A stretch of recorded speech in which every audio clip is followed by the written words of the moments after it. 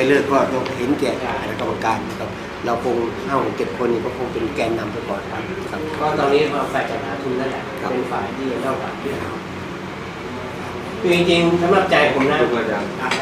ลึกๆนี่นะ ผมคิดว่ายังไงก็หาได้